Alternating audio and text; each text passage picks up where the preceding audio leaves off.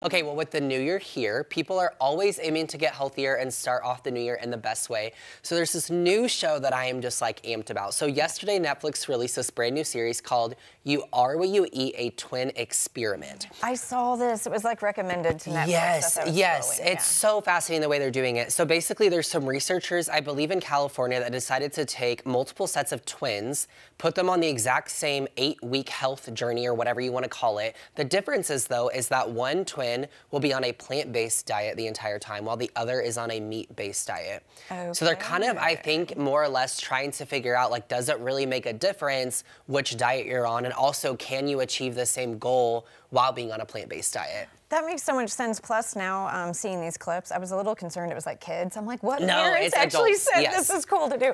No, that sounds really interesting. Yeah. Um, the, the thing I love about it most is one, you see the twins like um, because the which diet you get is randomly assigned. You don't oh, get to pick. Okay. But each twin set has such a um, specific like they're both so different on how they want it to mm-hmm. happen. Like, like some people actually really want the plant-based diet because they don't care about meat so much. Right. So then if the other gets it, they're like super upset. That would be bad. But what's so interesting is, so I say health journey and not just diet because they are set up with like some fitness instructors and other people to make sure right. they're really going on a full health spectrum rather than just, just you know, eating, eating right. Yeah.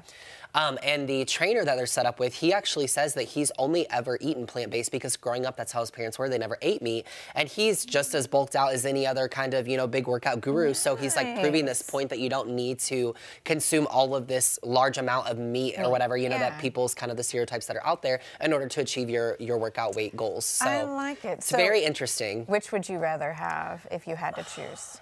I feel like, like, um, uh, I don't know, probably the meat base, but the plant based would be an interesting challenge. Yeah. Because I'd be willing to try both. I don't know. I mean, if you trust the experts that are doing it, why not? Yeah, you know? exactly. So good show. Check it out on Netflix. Couple episodes out now. All right. Also, a brand new adaptation of The Color Purple is currently in theaters, and Oprah was not only a lead actress in the 1985 film, but is also now serving as a producer on the new version. So before we get into this, because I have a lot of thoughts, look at the teaser for a brand new documentary called Oprah and the Color Purple Journey.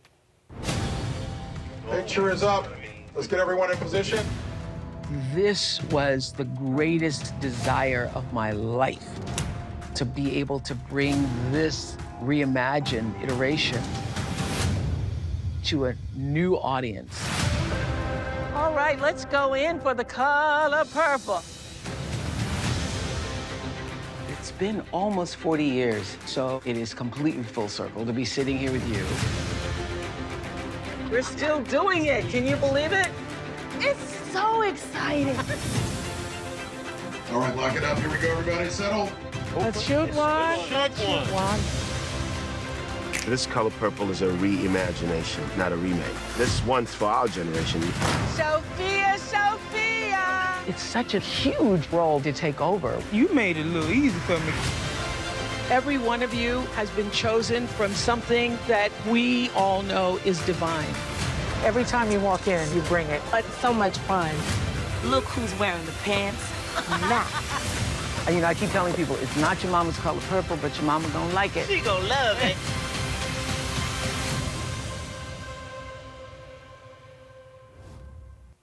I have not seen this film yet, but something like this gets me excited to see it. Yeah. And here's the thing. Um, I love that he said this is not a remake, it's a reimagination or how I Yes. rephrase it. I thought that was important because a lot of the people that are involved in this were involved in the original film back in 85. But I think what's so intriguing to me about it is the press that's been around it. So there is um, all the actors that have been affiliated with the film have spoke so highly of their experience. I listened to a podcast yesterday with Taraji P. Henson, who's one of the leads, and she literally says this role changed her life and she got it at the perfect time in her life to play the character that she was assigned to.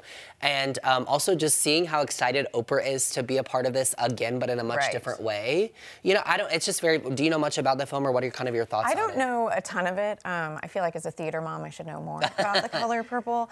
The main stuff that I've been hearing is that people are really upset. That it was, or not upset, but maybe they went in not realizing it was a musical Yeah. and that it was a reimagination and not Okay. just a remake. That's interesting. That's just kind of the buzz. Yeah, okay. I haven't heard that, but I really appreciate that opinion. I will say with the music, I don't know much about the music of the show, but Fantasia's role, um, she plays kind of the lead. She has a song called, I believe it's called I'm Here, which is like the big song from The Color Purple. And I have heard that that will like give you goosebumps from head to toe. Like it's just cannot wait. amazing. I've seen videos on TikTok and their, um, what's it called? Like the read through or whatever. The, I Yeah. can't remember the term right now. But anyway, during that, I mean, it's just like the whole cast is in awe of her every time she sings it. So I think this is really something to check out. I wouldn't, I mean, award season's just right around the corner. Wouldn't be shocked if we see this film go up for multiple different Oh, kind of nominations wonderful. or whatever. It'd be really cool to see. I So would love that.